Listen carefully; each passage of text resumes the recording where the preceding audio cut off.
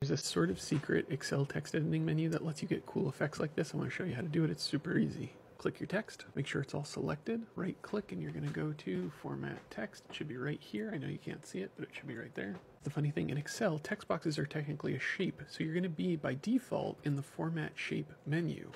What you're going to want to do is click over to Text Options. A lot of people just never know this is even there. What I did for that effect that you just saw was I gave it a 1.25 width outline and then I removed the fill by making it 100% transparent where you could also just select no fill.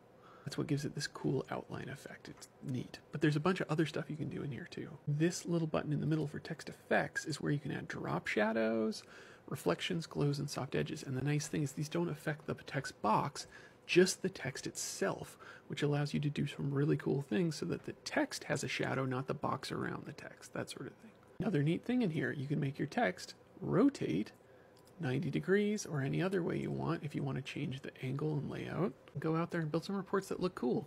It's not that much harder than making super boring reports. Go try it out. Thanks everyone. Have a good one. Bye for now.